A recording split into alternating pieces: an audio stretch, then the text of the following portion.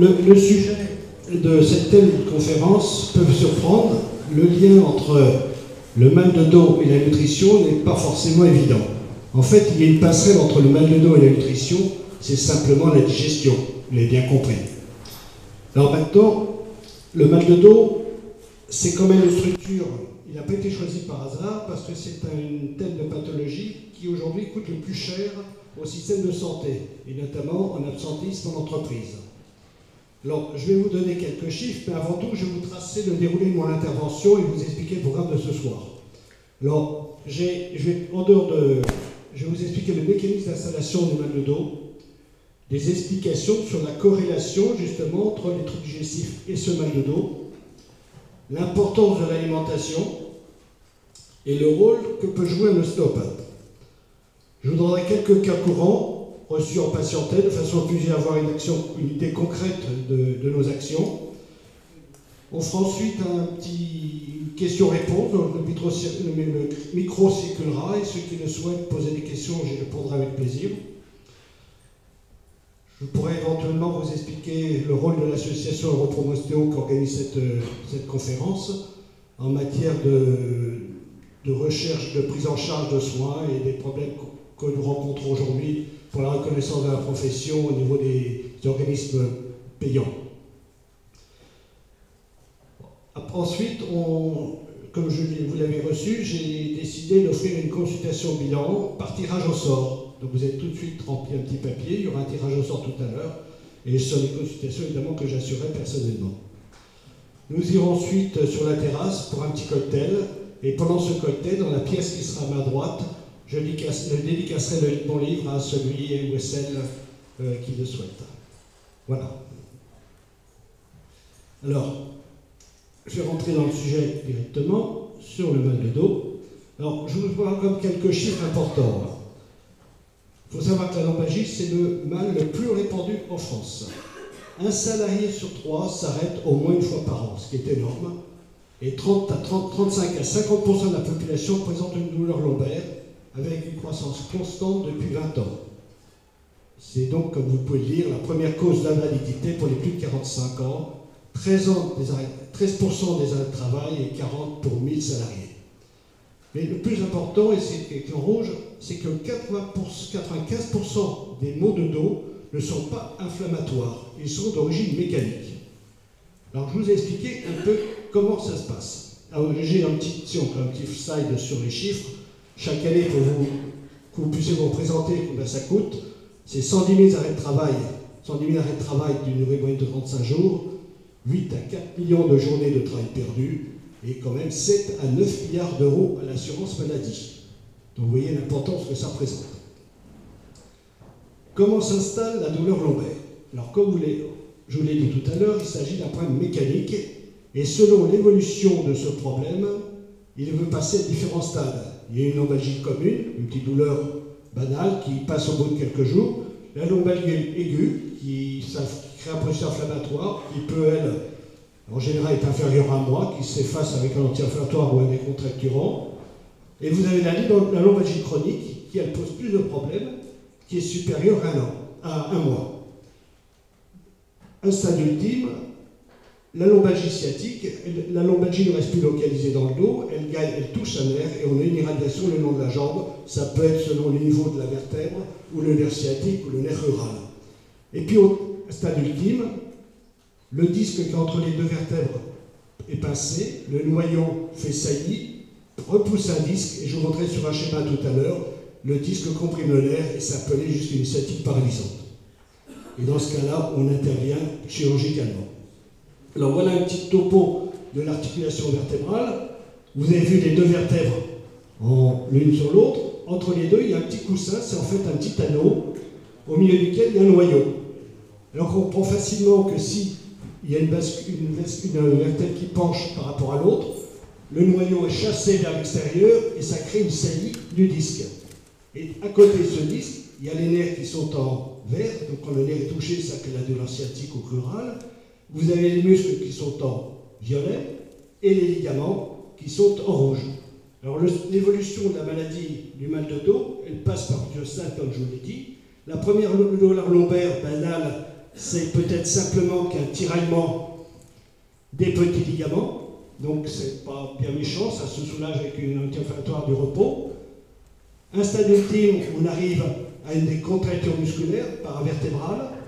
On a aussi le passement du disque, l'atteinte du nerf et tout le processus que je vous ai expliqué tout à l'heure. Alors maintenant, pourquoi La question qu'il faut se poser, c'est pourquoi ce disque, ou une vertèbre l'une par rapport à l'autre, viendrait à pencher et à, comprimer le disque. Alors, je vais essayer de me débrouiller avec euh, son micro. Parlons un peu plus fort. Vous avez les deux hanches qui sont articulées autour d'un petit os triangulaire qu'on appelle le sacrum. Sur ce petit os sont en pied toutes les vertèbres lombaires. Dès lors où une hanche bascule par rapport à l'autre, le bassin ne peut vriller que comme ça, il ne peut pas marcher comme ça ni comme ça, anatomiquement. Donc si le, bascule, le bassin vrille, l'os entre les deux va s'incliner, s'horizontaliser et la vertèbre glisse.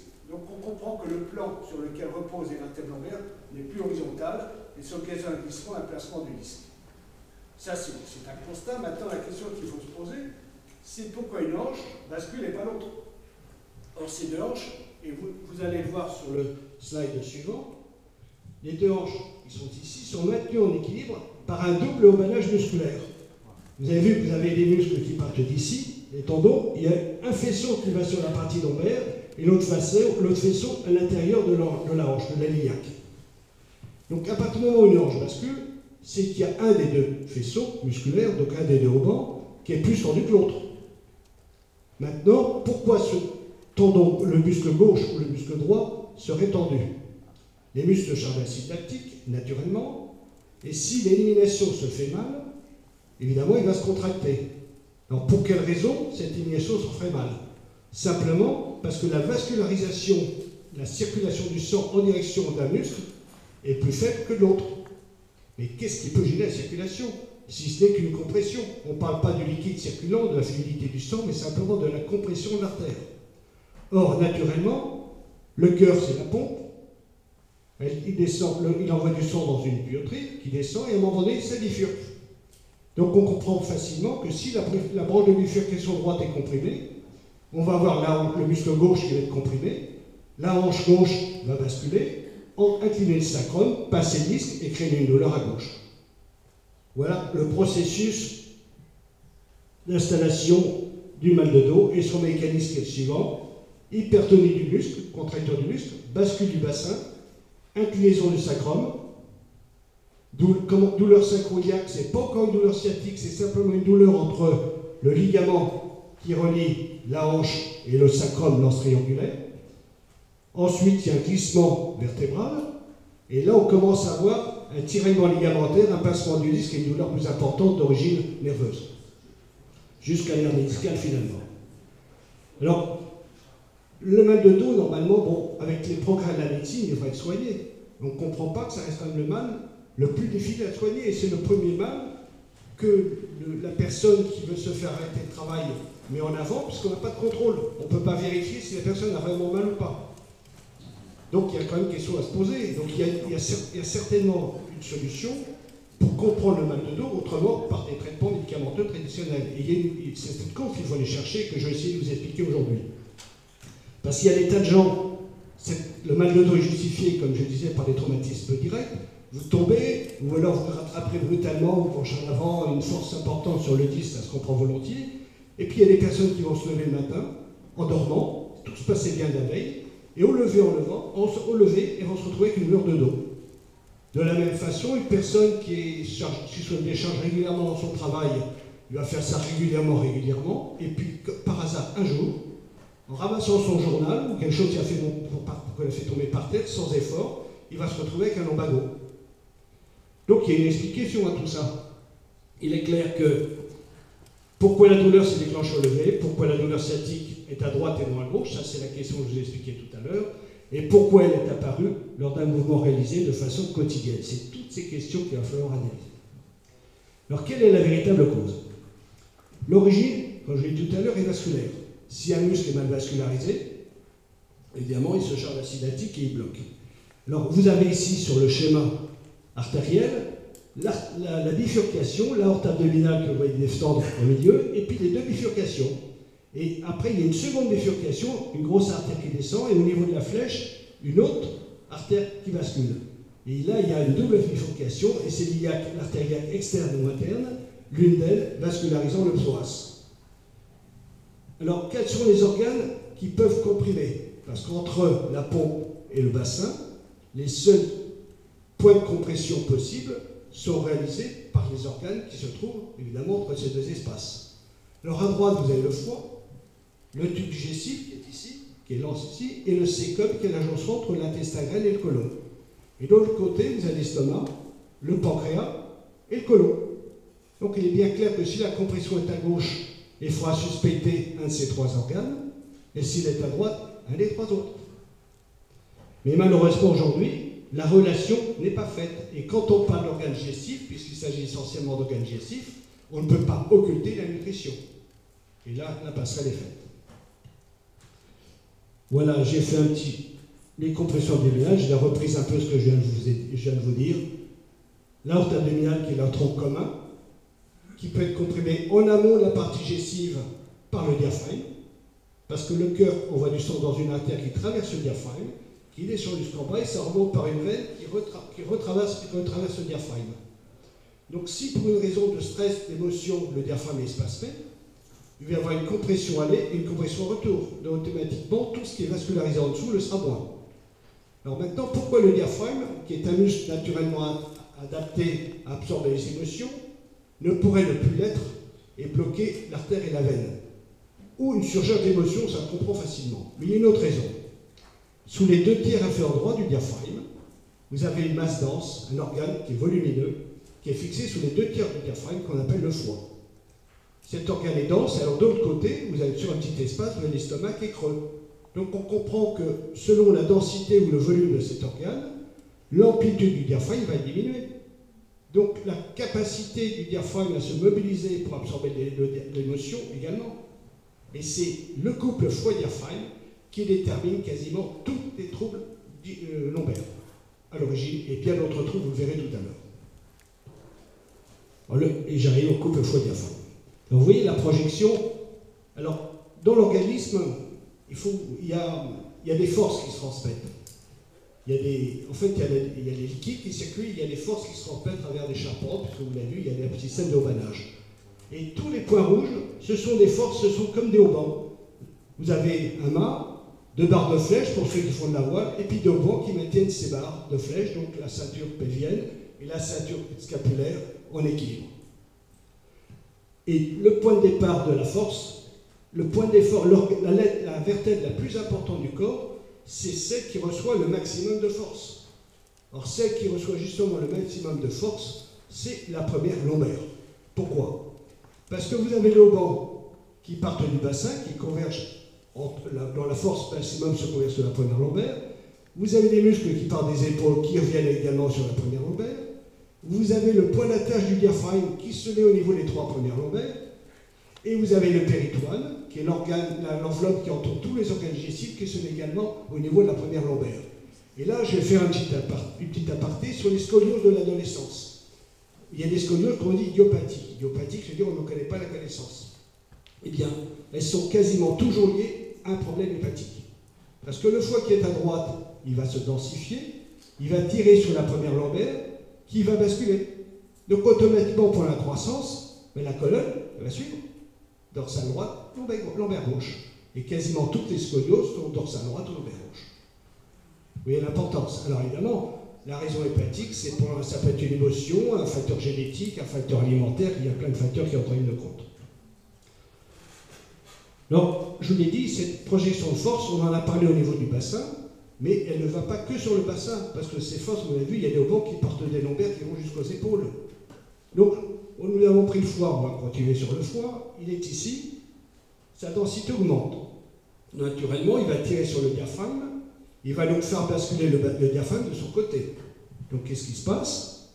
La, cage thoracique bascule au niveau de l'axe vertébral, hop, on est gauche par en avant automatiquement, on va avoir une compression de l'artère qui va vasculariser le bras, fourmillement, douleur dans le bras, favoriser les tendinites, et puis le muscle qui est fixé entre l'épaule et cervicale, il va être tendu. Et ça occasionne des douleurs cervicales, des douleurs d'épaule, à terme une compression de la vertèbre, d'une artère qui est l'artère vertébrale, un passement d'un nerf qui est un évaginal des migraines. Et on pourrait presque expliquer, établir une relation mécanique entre les excès alimentaires d'alcool et les maux de tête.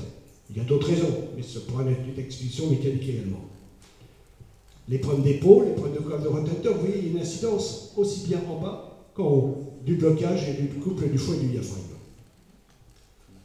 Alors c'est un cercle vicieux, parce que la colonne vertébrale, selon son étage, c'est comme une ligne de tension, et à chaque étage vertébral, il y a des nerfs qui passent, qui sont symétriques. Il y en a qui vont agir sur la motricité, donc quand l'influx nerveux arrive, il va faire bouger le muscle.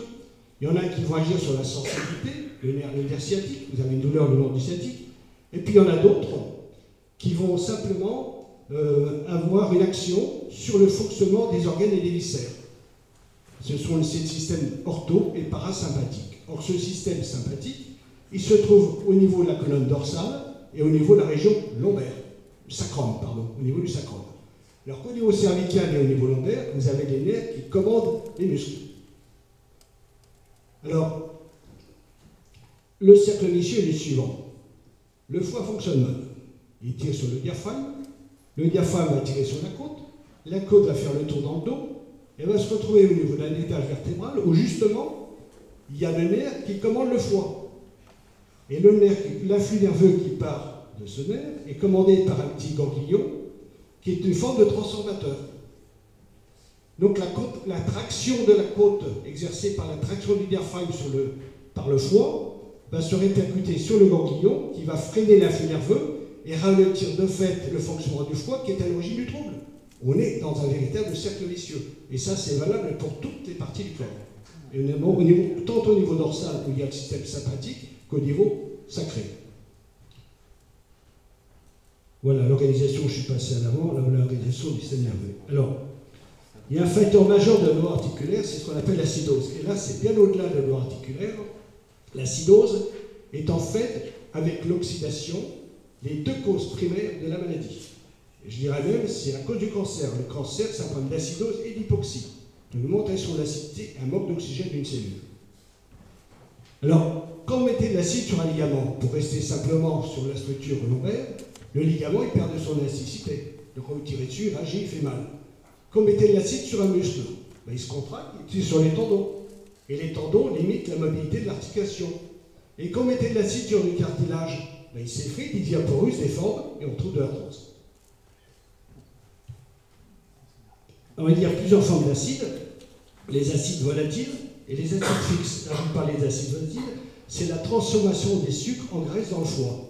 Ce sont ces acides dont je vous parlais qui créent une diminution de l'acidité des tissus, une diminution de la microcirculation et de la déminéralisation. Alors je vous explique pourquoi les tissus, je vous en ai parlé. La microcirculation, je vous donne un exemple. Vous avez une petite cellule qui est entourée par une membrane de graisse. Cette membrane est une membrane protectrice. Ce sont les oméga 3, quasiment. C'est une des raisons pour lesquelles les, tortues et les éléphants, qui ont une peau très épaisse, pleine de graisse, vivent beaucoup plus longtemps que les êtres humains, ils sont mieux protégés au niveau de leurs cellules. Eh bien, cette petite de graisse, si elle met dans un milieu acide, elle va subir l'agression de l'acidité qui va finir par attaquer la membrane. Et cette membrane sera d'autant plus fragile qu'elle sera oxydée. et en plus de ça, les vaisseaux qui apportent l'oxygène et les nutriments à ces cellules, dans le milieu acide, le diamètre est diminué. Donc vous avez une cellule qui est mal protégée, qui est agressée et qui est mal nourrie. Donc elle se dérègle. Et à un stade ultime, il suffira dans son état d'instabilité d'un stress oxydatif qui va augmenter l'oxydation et toucher à ce moment-là l'ADN et détruire la cellule. Et on a la maladie euh, irréversible que vous connaissez tous. Alors les sources de l'acidité, ben, elles sont endogènes et exogènes. Endogène, c'est-à-dire que c'est l'acide qui, qui, vient du corps. Exogène, c'est l'acide qui vient de l'extérieur. L'acide vient du corps, elle vient du foie et des muscles. Et là, en ce moment, j'ai pas mal de grands sportifs pour le tennis. Ben, je ils font 2-3 heures de tennis par jour, ils font beaucoup d'acidité et ils attaquent leur organisme. S'ils ne prennent pas les précautions en prenant les produits alcalinisants, ils vont se, ils se dérèglent, ils se font beaucoup plus mal que bien. Et puis le foie, parce que le foie, c'est une usine, Normalement, elle stocke le glucose, qui est votre sucre, votre énergie, et sa mission, c'est d'envoyer dans le sang. Sauf que quand cet organe fonctionne mal, qu'est-ce qui se passe? Le sucre se transforme en graisse. Et c'est lors de la transformation des sucres en graisse que deux substances se libèrent, l'acide et l'oxyde de carbone.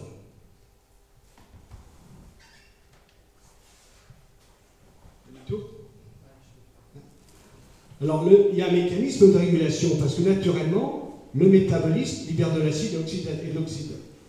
Donc, le, mécanisme, il est suivant.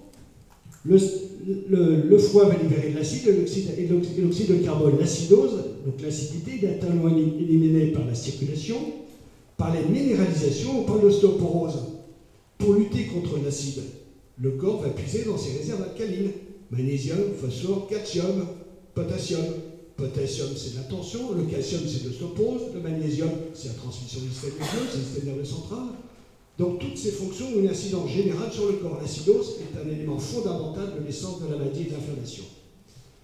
Et l'oxydation, ben, l'oxydation, ben, quand vous avez l'oxyde de carbone, ce sont les poumons qui les éliminent.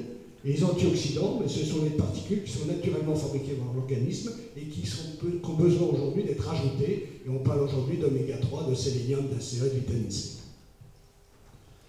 L'influence de l'alimentation. Alors là, c'est un peu plus concret, vous allez mieux vous retrouver. Alors, il y a des aliments vous avez une source exogène, c'est l'alimentation.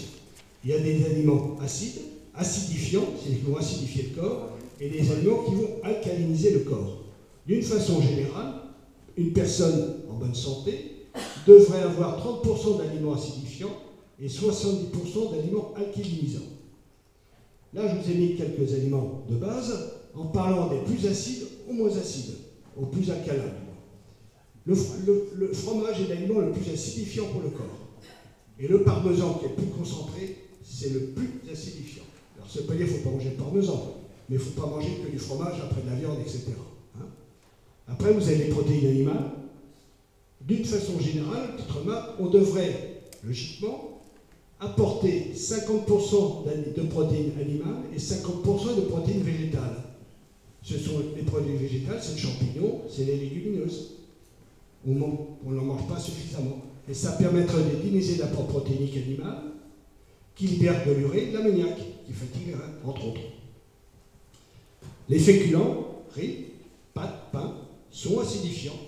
Alors, si vous prenez trop de riz, trop de pâtes, etc., après de la viande, et puis avant, vous prenez du pain et du fromage, vous acidifiez complètement votre organisme. Et vous avez un, sucre, avec un dessert sucré, et vous avez le, la complète. Et là, on arrive maintenant dans les aliments alcalinisants par ordre de, pH. Euh, alors, le pH, c'est un moyen de sa concentration d'hydrogène qui permet de, voir si le produit est acidifiant ou pas. Alors, plus le pH est faible, plus l'aliment est acide. Le sang, le, pH de notre humain est neutre, il est à pH 7. Alors, dans les, les, légumes secs, vous avez des champignons, les fruits, les crudités, les légumes, les pommes de terre, les fruits secs. Ce sont les aliments qui devraient composer quasiment 70% de votre alimentation.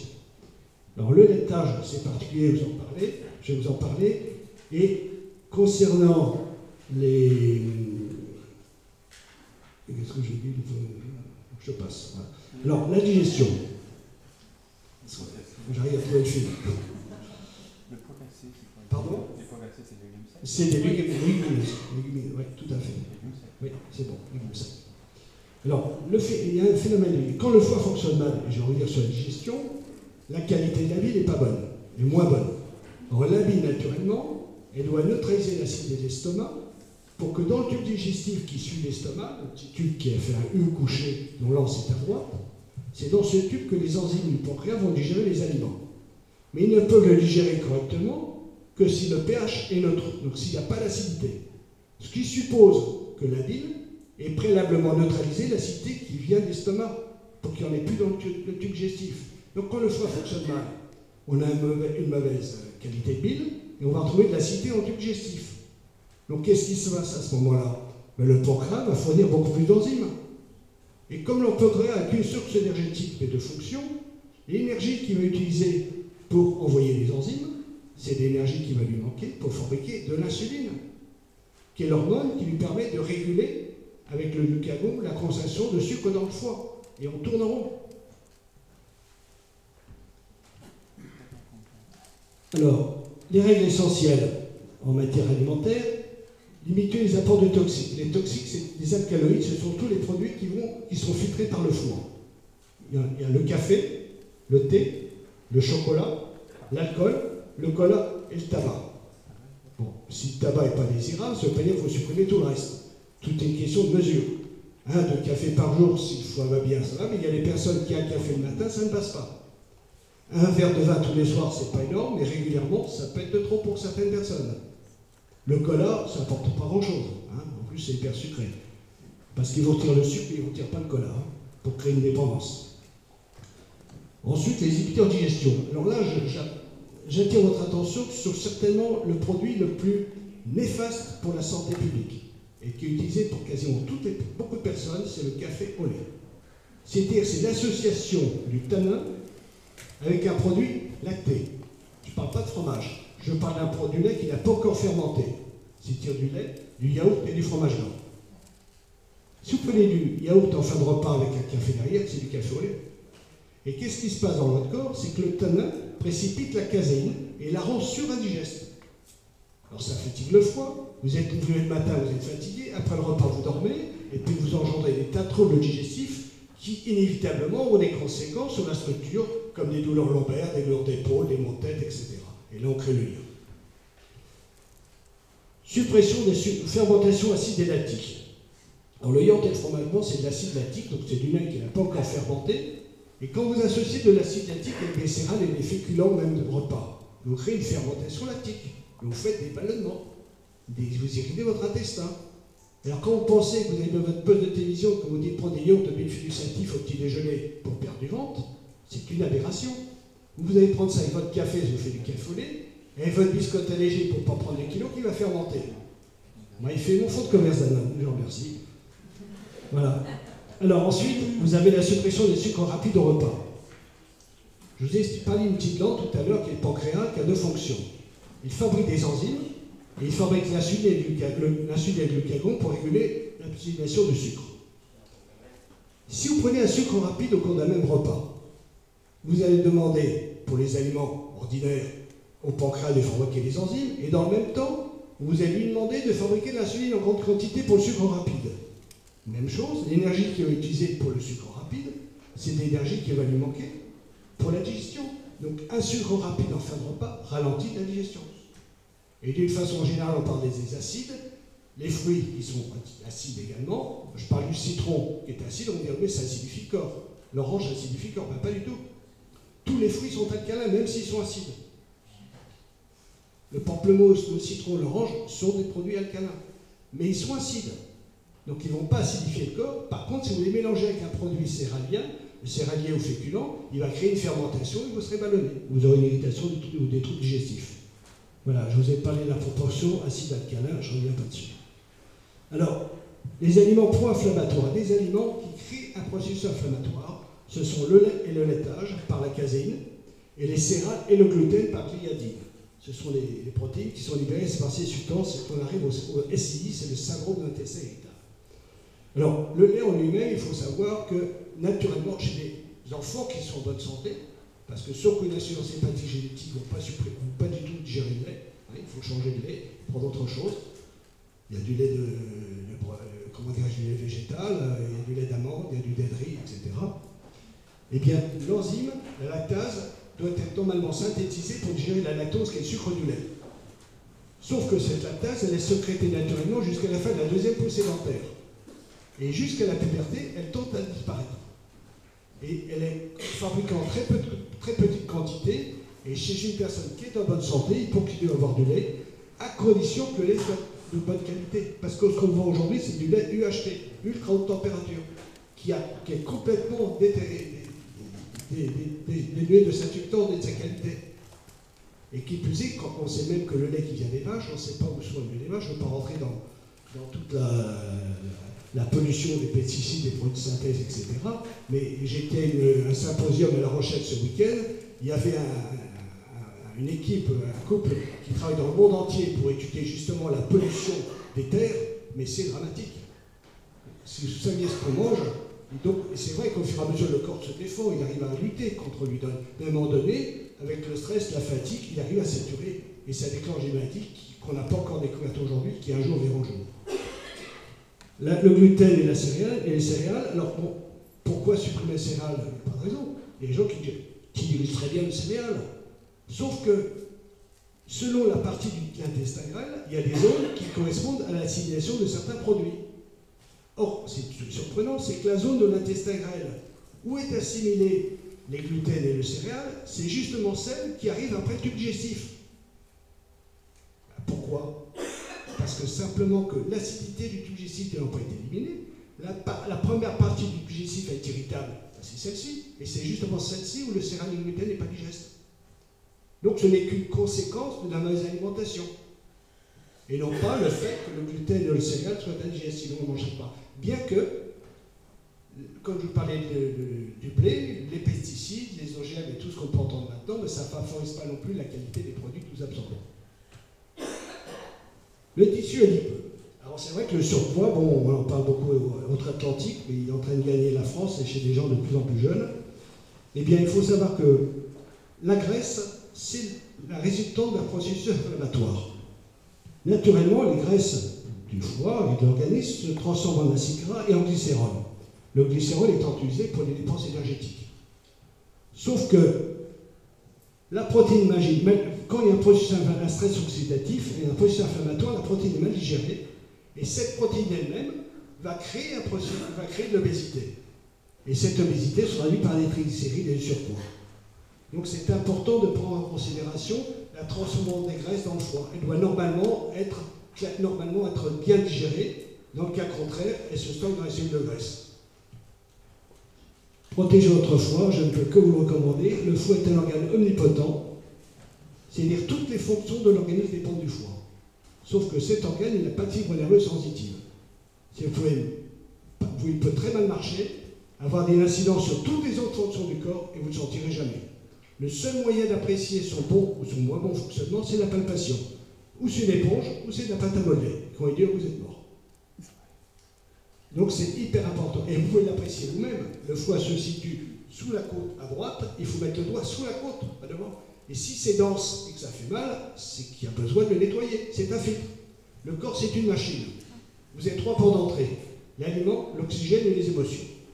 Vous avez un préfiltre qui est l'intestin grêle, un filtre qui est le foie. Et vous avez chez l'homme quatre systèmes de régulation. Vous avez parlé que ça fabriquer de l'acide et l'oxyde de carbone. Eh bien la peau, la sueur, c'est acide. L'urine, le rein, c'est acide.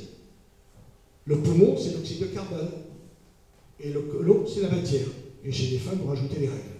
Alors quand vous pensez qu'aujourd'hui, on vous donne des pilules qui bloquent le cycle, déjà que la pilule a fait plein de dégâts, on ne sait pas ce que ça donnera plus tard sur les fonctions endocriniennes et sur les pathologies euh, plus importantes. Alors, protéger le foie des médicaments, ça ne vient pas de moi, ça vient du symposium dans lequel j'ai été ce week-end de grands professeurs de médecine. Professeur Joyeux, professeur Philippe Massu, à Orgueil, à Toulouse, il y a une prise de conscience du corps médical, on peut s'en réjouir de, de, l'excès de médicaments. Un médicament, sauf cas exceptionnel, ne doit pas être pris plus, de, plus longtemps qu'un mois de suite. Et s'il doit être pris pour des raisons médicales plus longtemps qu'un mois, il faut protéger son front parallèle. Et pour preuve, les cancérologues, et certains, pas tous, qui, font qui, qui prescrivent la chimiothérapie, demandent à leurs patients de consommer une plante qui est le desmodium, qui est un hépatoprotecteur, pour protéger le foie de la, toxicité de la chimie. Alors les IPP, ça c'est encore une aberration.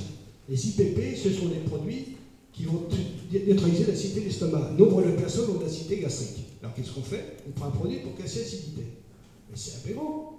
L'estomac, naturellement, est acide. Et cette acidité a pour objectif de broyer l'aliment. Donc on empêche l'estomac de faire son boulot. Ce n'est pas l'estomac qu'il faut traiter. C'est le tube digestif qui est en dessous, qui a trop d'acidité et qui remonte. Donc ces, IPP sont des médicaments qui devraient être normalement, qui servent à rien. Mais comme on ne sait pas traiter le foie médicalement et on n'a pas d'outils pour le traiter, parce qu'il n'y a aucun médicament chimique qui peut sur le foie, puisque la chimie est toxique et le foie de fait est toxique. Donc on est un peu piégé. Il y a des méthodes. Et le paracétamol, ben, j'ai été à côté justement avec un médecin euh, à la table ronde euh, au symposium ce week-end. Mon épouse qui est là s'en souvient. Elle a une, avait alors dentier, y a une piqûre du. Comment la bête, comment s'appelle euh, Brigitte, euh, pas là non Je me rappelle. Il y a une, une bête qui, qui, est, qui est vraiment. Pas un mais enfin, je ne sais pas comment ça s'appelle. Eh bien, elle a. Pardon Non, non. La lime, voilà. Elle m'a dit lime, voilà. C'est mais c'est très grave. Eh bien, on lui a donné de la paracétamol. Ben, écoutez, elle a fait une, hépatite médicamenteuse, on lui a retiré une partie du foie. Elle a failli mourir. La femme d'un médecin qui est à côté de nous, c'est quand même dramatique. Donc pour vous dire, le paracétamol, très doucement. Tout médicament, c'est ce que je dis tout à l'heure. Et puis, il y a les, je vous parlais des toxines tout à l'heure. Alors les toxines, normalement, elles sont stockées dans le foie et dans le cerveau, elles sont liposolubles. Donc, et elles doivent normalement être évacuées. Et pour être évacuées, il faut qu'elles deviennent hydrosolubles. Elles sont évacuées par la peau, les selles et les reins, comme je l'ai expliqué tout à l'heure. Sauf que le stress inhibe la transformation des toxines liposolubles en toxines hydrosolubles. Et là, ces toxines deviennent se loge dans le foie et on a une progression progressive de l'encrassement du foie qui passe par la stéatose, c'est-à-dire le foie gras. Ensuite, la fibrose, c'est que les. Ça veut dire. Ensuite, la cirrhose et le cancer. Le foie, c'est une éponge de sang. Alors, pour la petite histoire, sachez que les bouchers dans les abattoirs, avant d'acheter les animaux, ils palpent le foie. Ils palpaient, je ne sais pas s'ils le font encore. Et s'il le font une sensation de sec de sable, ils considèrent que l'animal n'est pas en bonne santé, ils n'achètent pas l'animal. Alors ces petits grains de sable, en fait, c'est des calcifications, hein. elles sont invisibles à l'échographie parce qu'en font en dessous de 4 grammes. Mais par saturation, elles arrivent dans la vésicule, elles s'agglomèrent et viennent des calculs, rentre également dans les reins. Donc il y a des techniques aujourd'hui pour évacuer ces, calculs. C'est la médecine médique, on retrouve dans les selles des cailloux comme ça, il suffit de le faire régulièrement, c'est très très intéressant. Et ça évite souvent d'éviter de retirer la vésicule. Parce que la vésicule, on ne peut pas chirurgicalement retirer les calculs parce qu'elle est trop, elle est trop fine. Alors, l'ostéopathie, bon, j'ai comme vous en parler, parce que c'est pour là qu'on travaille. Alors, je vous donne un petit historique. Oh, c'est un Américain qui est né en, de 28 et né en 1917, qui à l'origine est ingénieur américain. Il a suivi son père pour la guerre de sécession, son père était chirurgien. Il s'est expérimenté à la médecine. Mais il a, vu, le corps humain d'une façon un peu différente. Il a appliqué deux principes que tous les ingénieurs connaissent, c'est la dynamique des fluides et la mécanique des forces. C'est pas compliqué, hein le robinet, mettez sur le tuyau, la pression elle tombe. Et là, je vais vous faire un, petit aparté sur l'hypo l'hypertension. Vous avez le cœur qui envoie du sang dans un tuyau, une artère, et puis ce sang doit traverser un filtre fois. Si le filtre est bougé, ben, pression après le foie elle tombe. Donc le foie, généralement, euh, l'insuffisance hépatique pour conditionner une, une hypotension artérielle. Mais comme ce foie se fragilise, les filtres terminaux qui sont les reins vont récupérer le travail qu'il n'aura pas fait, et à ce moment-là, vous allez trouver un tuyau qui va se retrouver entre deux filtres et pas son hypertension. C'est pour ça qu'on a des diurétiques quand on a l'hypertension. Mais heureusement, l'hypertension n'est pas que ça. Il y a aussi l'acidité, on y revient. Quand on mettait de l'acide sur une artère, le diamètre diminue. Mais comme le volume est le même, la pression, elle augmente. Ça me fait penser aussi à quelque chose qui est intéressant sur les, troubles circulatoires des membres inférieurs. C'est quelque chose d'extraordinaire. Vous avez une grosse veine qui remonte du cœur, qui doit traverser le diaphragme et qui doit revenir au cœur. Elle remonte au cœur, doit traverser le diaphragme et revient au cœur. Sauf qu'avant de traverser le diaphragme, elle passe derrière le foie. Imaginez que ce foie fonctionne moins bien, le tuyau qui remonte avec le sang, il est comprimé. Donc naturellement, les veines, les veines elles s'écartent, les valvules également. Et qu'est-ce qu'on fait? On prend ce qu'on appelle un vénotonique. On resserre les, veines, les membranes. Et comme on a parti le bouchon, on monte la pression du tuyau, on fait péter les vaisseaux. Et on pensait qu'il y a un laboratoire bien connu qui a fait sa fortune avec un médicament qui ne marche pas, d'ailleurs qui a dû être déremboursé par la suite. Il y en a bien d'autres.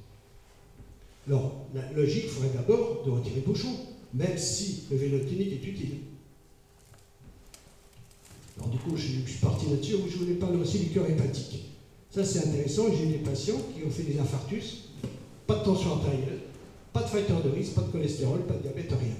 On comprend pas Beaucoup de stress, peut-être sûrement. Puis cet homme-là, il a 55 ans, il court après son bus parce qu'il est en retard, boum, infarctus.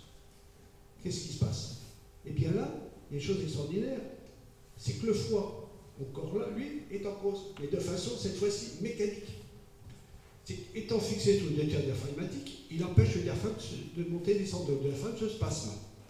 Or, il y a un ligament qui, qui maintient le, cœur dans son axe, qui est fixé sur la coupole diaphragmatique gauche. Donc, ça va la tension du diaphragme va tirer sur le ligament, qui va désaxer le cœur. Donc, les, les coronaires qui avaient du sang vont être frayés. Donc, la vascularisation du muscle s'abandonne. Et les valvules, elles ne seront pas forcément bien en face. Et dans le même temps, on va demander à cette pompe de fabriquer un travail beaucoup plus puissant pour que le sang traverse le filtre qui est bouché? C'est comme ça qu'on appelle ce qu'on appelle le cœur hépatique. Mais aujourd'hui, on n'en tient pas forcément bien compte. Alors, j'en viens à notre ami Still. Euh, bon, l'éveil des forces, reconnaissance du etc. Alors, l'éveil des forces, c'est je La règle de l'artère, c'est pas compliqué. Hein. Prenez un tuyau de rosage, mettez le pied sur le tuyau, vous pouvez mettre des bonnes graines sur votre terreau, ça ne poussera pas. Mais le corps, c'est pareil. S'il n'y a pas de sang, ça ne marche pas. Donc, nous, on va regarder où il y a des tuyaux qui sont comprimés. Et comme euh, les tuyaux sont comprimés en vent, ben, on va être obligé de s'intéresser à l'alimentation et de pousser au-delà de simple manipulation et d'apporter des éléments, des conseils d'hygiène de vie, d'hygiène diététique et de les protéger des minéraux, des, des compléments alimentaires qui vont renforcer les organes les plus faibles. Alors, je reviens sur la base embryologique parce que l'ostéopathie est aussi basée là-dessus. Je vous dis la mécanique, des forces. dans l'embryon, le bébé est constitué de trois couches linéaires. La couche profonde est nourrie par l'artère ombilicale. Et la couche profonde, elle donne naissance aux tubes digestifs et aux annexes, foie, pancréas, etc. La couche médiane, c'est le squelette, les vaisseaux et les tissus. La couche superficielle, c'est le système nerveux et la peau. Je ne vais pas tout dire, mais en gros, c'est ça. Alors, il est bien clair que ces trois couches linéaires, quand le bébé se forme, elles vont se développer en trois dimensions. Mais le lien anatomique qui existe entre la couche basse, la couche médiane et la couche supérieure reste le même. Donc on comprend maintenant pourquoi on peut soigner un torticolis sans avoir touché au cou, et simplement en touchant au foie et à la droite. Parce qu'il y a toute une chaîne qui est ici. En fait, toutes les forces mécaniques dans le corps elle rayonne comme une toile d'araignée dans le milieu et le nombril. Donc si la toile est comme ça, si vous mettez le pied sur le fil ici, elle va être sur la toile, ça crée une tension de l'autre côté. Donc le foie, c'est l'épaule gauche, l'ange droite. Le pancréas, l'estomac, le côlon, ben, c'est l'ange gauche et l'épaule droite. Mais ça peut être les deux. Parce que comme le côlon, la constipation peut être aussi la résultante d'une qualité de bile, eh bien on va avoir une tension du côté du foie à droite, et dans le même temps une tension du côté gauche. Il a une surambition de force. Et là, ça m'amène à vous expliquer pourquoi 80% des cancers du sein sont à gauche. Vous savez que le foie a une, relation directe avec le système hormonal. Eh bien, je vous ai parlé tout à l'heure de rotation du bloc thoracique, de l'épaule gauche qui part en avant, la compression latère dont le collatéral et la mammaire. Donc la glande qui va être la plus touchée, ben, c'est la glande qui la moins bien vascularisée. Euh, méthodologie de soins de l'ostéopathe, bon, on apprécie la douleur. En fait, pour un ostéopathe, la douleur articulaire, et sa localisation, ce mode de survenue, est un signal d'alarme qui nous informe souvent sur l'existence d'un trouble fonctionnel qui est, qui, est pas, qui est latent, qui est silencieux. Donc on fait de la prévention au sens large. Mais ce trouble est réellement existant. Donc jusqu'à une certaine limite, on peut aider et on se positionne vraiment en complément de la médecine plus orthodoxe, qui est évidemment nécessaire, qui fait des progrès exceptionnels en matière de recherche. La seule chose qu'on puisse reprocher à la médecine actuelle, c'est le manque de raisonnement c'est un peu trop symptomatique. Et le médecin, et je le comprends très bien, aujourd'hui, l'aspect judiciaire menace le corps médical. Dès qu'il y a un problème, il y a une procédure en place et les médecins ont peur. Donc le système a, fait, été tel que les médecins, pour se protéger, ben, il faut un examen iconographique ou un bilan. Et puis le bilan, ben, il révèle automatiquement dans l'éthologie l'apport d'un médicament. on donne un médicament, et comme ça, il est tranquille. Mais ça ne suffit pas forcément. Donc je pense qu'il y a vraiment une collaboration étroite à mettre en place entre la prévention santé active de l'ostéopathe et la médecine traditionnelle. Euh, mon père était ORL, donc je vous en parle quelque chose. On a longuement parlé, on a beaucoup travaillé ensemble, notamment sur les ORL, des gamins, les vertiges, les bénières, etc. Et il y a beaucoup, beaucoup de travail à faire. Alors, vous voyez que l'ostéopathie, ce n'est pas simplement un os qu'on fait craquer. Ça, ce n'est pas l'ostéopathie. C'est la bricolothérapie. C'est ce qu'on appelle la chiropraxie. Et aux États-Unis, justement, je parlais d'André Steele, où est née l'ostéopathie, on a étouffé l'ostéopathie, qui prenait trop d'ampleur sur la médecine, ce qui est dommage, ils n'ont pas bien compris. et ils ont donné le titre de médecin aux ostéopathes, et ce sont les chiropracteurs manipulateurs qui ont pris la voie. En France, il ne faut pas que ce soit ça. Et je peux vous garantir que je suis très investi pour que ce ne soit pas le cas et pour que l'ostéopathie soit reconnue comme une médecine entière, préventive et active. C'est pas facile. Voilà. Bon, mais écoutez, euh, voilà. Alors, bon, j'ai fait mon petit exposé. Si vous avez des questions, je vais faire sur le micro. Je peux vous dire plein d'autres choses, mais c'est l'essentiel. Après ce petit exposé où je fais circuler le métro, je vais répondre à vos questions. On va faire un tirage au sort, parce que j'ai promis, je me suis engagé à offrir 15 consultations bien. Après, il y a le cocktail, il va être servi, le temps de mettre en place, et puis je serai le à côté, et celui qui le soit, j'en dédicacerai mon, ouvrage. Ça s'appelle Le mal de dos dans l'assiette, c'est pas sans raison. Voilà. Avez-vous une petite question à me poser Particulière, quelle qu'elle soit? Non?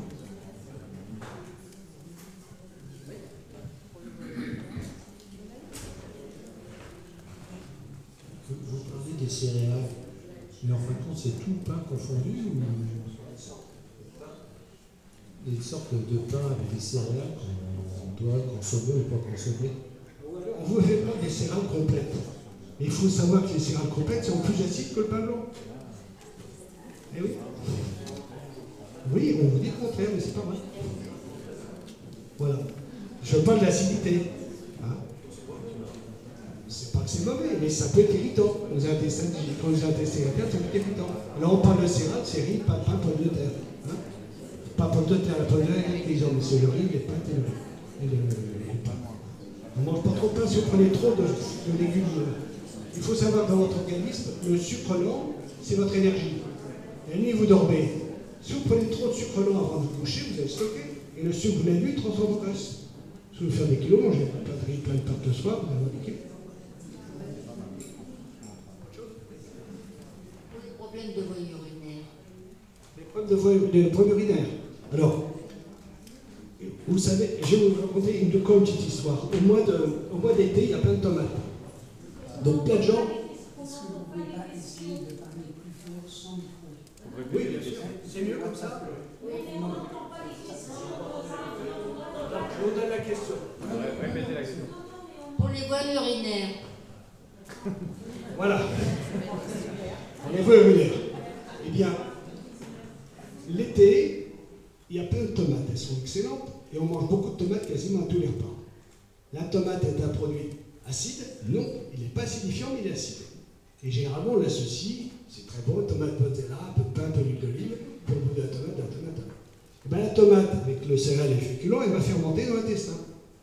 Et cette fermentation va irriter la muqueuse intestinale qui est monocellulaire.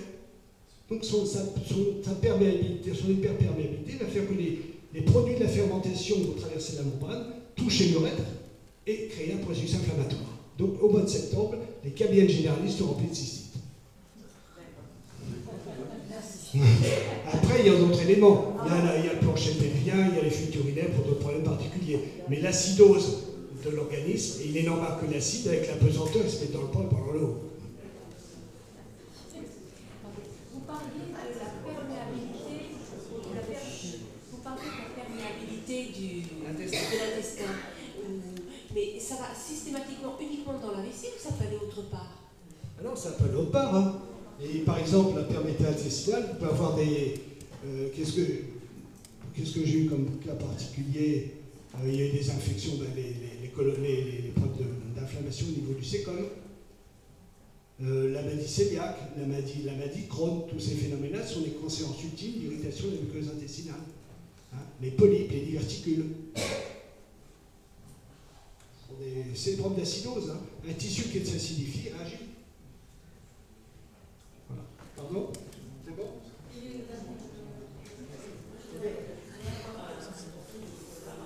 Le fil est trop court.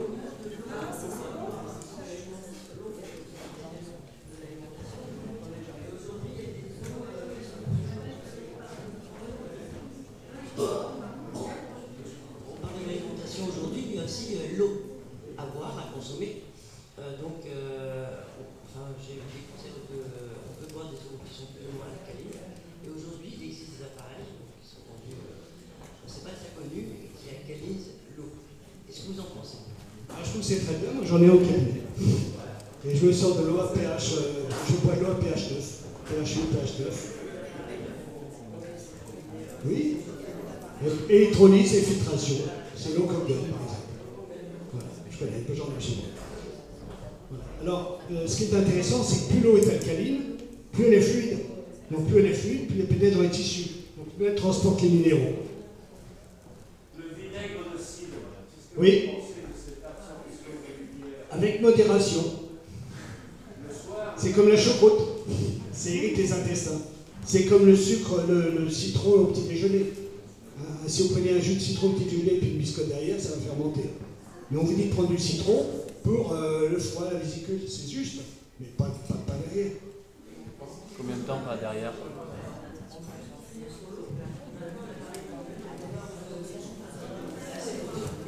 L'appareil euh, qui prend l'eau euh, alcaline, qui est euh, l'eau candelle, moi je trouve ça comme ça.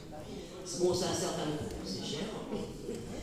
Voilà. Et euh, maintenant, qu'est-ce que euh, conseiller comme eau qui- qu'on peut trouver en soi-même sur euh, L'eau vous pouvez. plus euh, la qualité de l'eau prenez, elle dépend de ce que vous avez. hein. Si vous avez une carence de certains minéraux, c'est bien, mais sauf que les études ont prouvé que les minéraux qui sont dans l'eau sont absorbés quasiment à pas plus de 15%. Donc à se poser s'il n'y a pas un peu de marketing là-dedans. Alors par contre, je parlais des fruits tout à l'heure, il y a, les fruits sont à consommer généralement en dehors des repas. Sauf deux. Et ça, je vous précise, c'est l'ananas et le pamplemousse. Le pamplemousse peut être pris sans difficulté au petit déjeuner, c'est un antioxydant, il apporte plein de vitamine C, alors que l'orange en elle-même chez les hépatites peut être nocive, en grande quantité. Les gens disent qu'il y a une interférence avec certains médicaments? Le système enzymatique du pamplemousse et de l'ananas, et surtout le pamplemousse, est tel quand vous l'associez à certains médicaments, ça diminue l'évacuation des médicaments, donc ça optimise son effet. Donc il faut être prudent. Si vous prenez des médicaments, il faut faire attention. Les hypotentiels, les hypolipidémiants et. L'ananas, aussi. Pas l'ananas. Et en Asie, ils n'ont pas de. Hein. Ben, vous allez dans les. Il y a du riz, il y a des noix de cajou, il y a plein de calcium dedans. Ils n'ont pas. Et ils prennent de l'ananas quasiment à chaque repas pour digérer. Ah, ça fait L'ananas, oui, il y a un système enzymatique et qui accède à la digestion. Un petit coup d'eau encore là-haut. Pour revenir sur l'eau, l'eau du robinet, elle est pleine de, de- de différents éléments qui sont certainement pas très bons. Et vous disiez tout à l'heure qu'on assimile qu'à 15%. Donc ça veut dire que c'est pas. Les minéraux, les cochonnets, on les assimile pleinement. C'est bien tenté.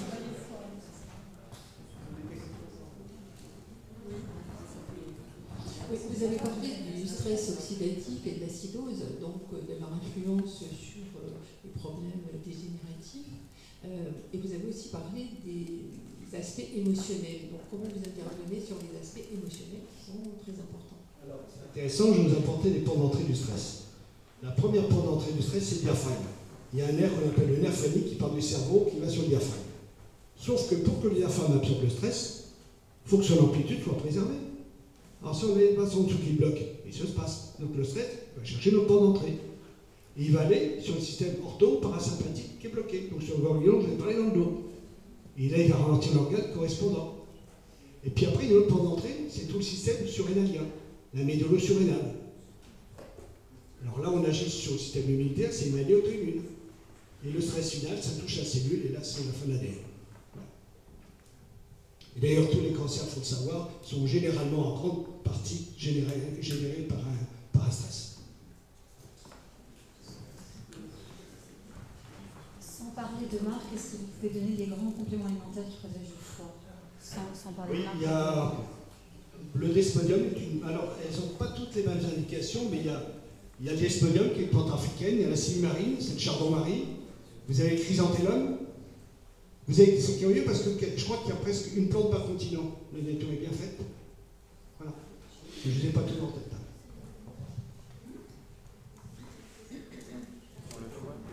pour le foie. Quel est euh, votre avis sur les problèmes d'hypoglycémie Alors, bah, l'hypoglycémie, c'est ce que je vous disais tout à l'heure. hein. Si vous demandez, si vous mettez de l'acidose dans le tube digestif, bah, le système, le pancréas, qui a une seule source énergétique, va fournir beaucoup plus d'enzymes au détriment de l'insuline.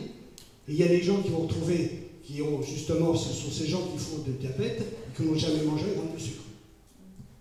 Même chose pour la thyroïde et la parathyroïde. Dans le corps, vous avez trois glandes a un symbolisme extraordinaire. Vous avez trois diaphragmes, vous avez trois, trois vertèbres, c'est du Christ, et vous avez trois glandes qui ont une double fonction.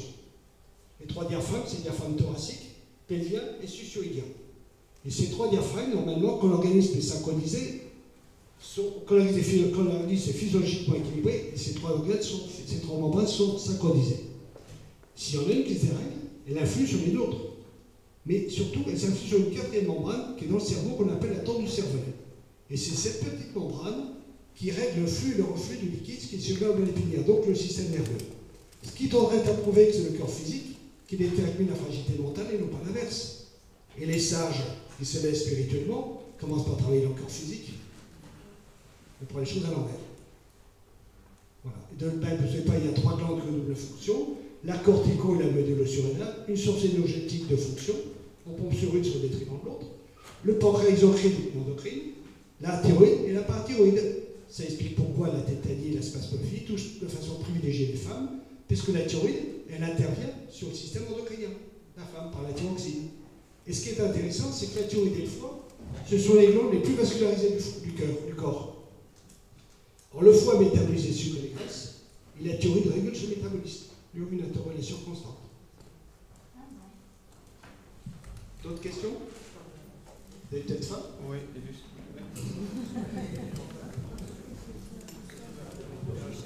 Bonsoir. Bonsoir.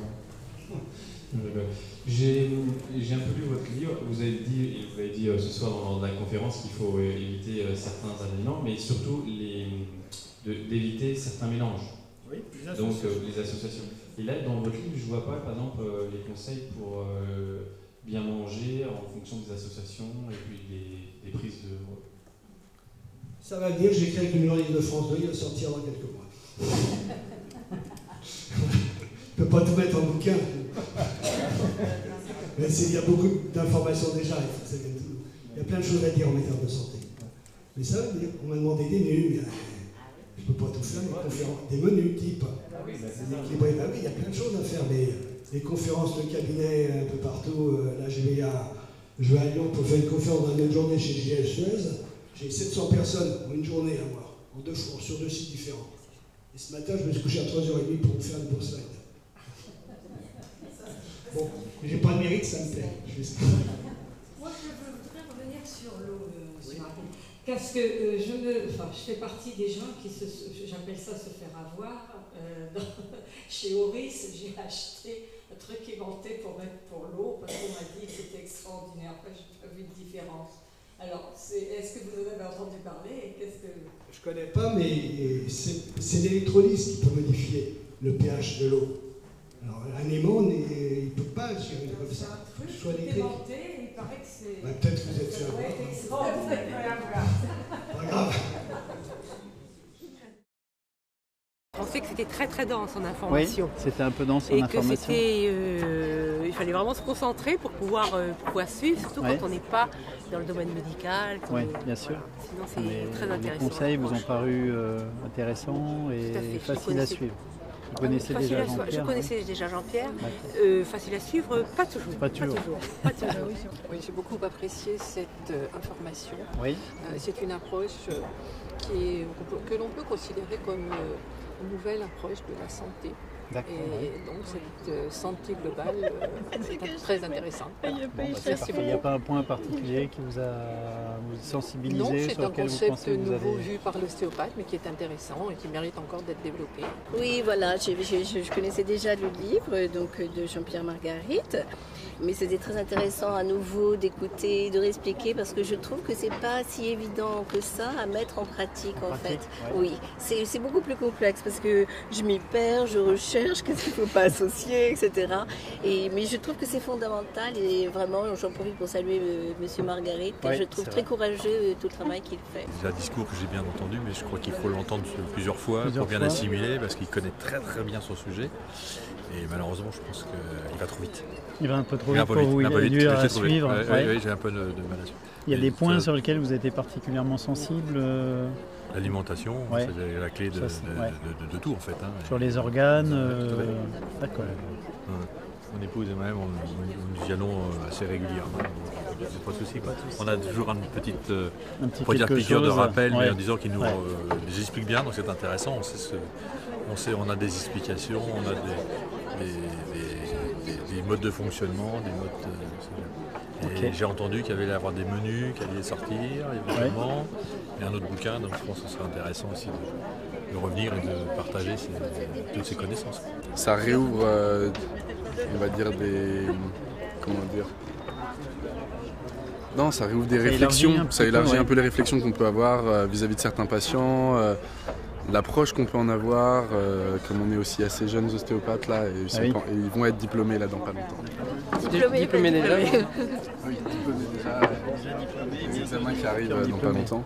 Et euh, du coup, euh, il y a quand même plein de pans qu'on maîtrise pas. La nutrition, c'est pas quelque chose qu'on nous apprend euh, à l'école. À l'école, c'est ça, ouais. Et, euh, Enfin, on nous en donne quelques bribes, mais c'est rien à côté de tout ce qui se fait en nutrition, micronutrition derrière. Donc, euh, Donc effectivement, là, c'est un pan bien les- complet ouais. à découvrir et à, ça. Et qui, à creuser.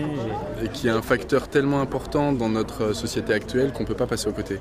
L'exposé, je trouvais formidable, mais euh, comme j'ai eu l'occasion de poser la question concernant l'alimentation, euh, je pense que ça dépend aussi euh, de ce qu'on appelle euh, de la race, de l'origine euh, des gens, puisqu'on sait que par exemple euh, au Japon, c'est là où on trouve le plus de personnes qui sont plus âgées.